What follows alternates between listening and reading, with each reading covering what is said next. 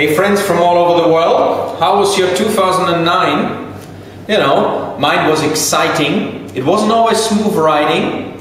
It was challenging at times, but I've been amazed how many things have happened, especially how many people have joined me in doing green action on the ground. That's really been exciting for me to see so many young people step up with our Eco Warriors Malaysia group, with other environmental movements in Malaysia, especially young college students, young working adults that really want to make this planet more sustainable. That gives me hope for the future. Despite a very disappointing result in Copenhagen, it's about individual action on the ground. And if we all join together, then we can make a big difference. That's my kind of hope and message for the new year. Let's all look at what we have control over and what we have influence on. We can't control the UN process. It's a very difficult process that is struggling to deliver lasting results. But we have control over our own lives. We have control over our own carbon footprint.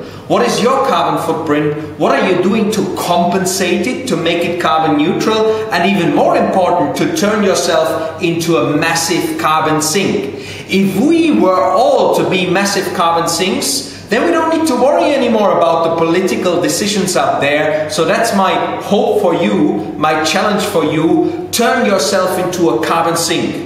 Compensate your CO2 emissions. Plant trees. Invest into environmental businesses or ventures or support NGOs that actually do activities that suck up carbons out of this atmosphere and preserve those activities, nature, plants, and whatever else there is that actually absorbs carbon already in a natural manner. We can make a difference. Let's all turn ourselves into carbon sinks in 2010 and make action happen that way. Happy New Year, greetings from Malaysia, and see you soon. Bye bye.